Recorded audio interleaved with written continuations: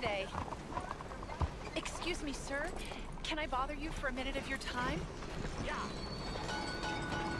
Can I tell you a little about what we're doing here? Sure. Less than a minute, I promise.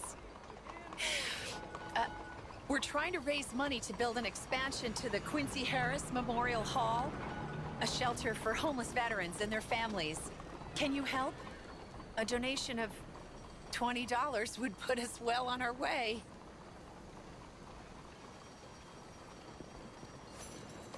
Twenty dollars ain't no chicken feed, but sure, I can help you out. That's very kind. What is your name, sir? Arthur Morgan. Your donation will be acknowledged on a founder's plaque when the building is completed. You have a great day, Mr. Morgan.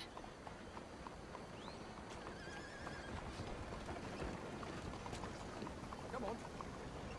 Well, good luck to you. Seems a worthwhile cause. Thank you, Mr. Morgan. Thank you.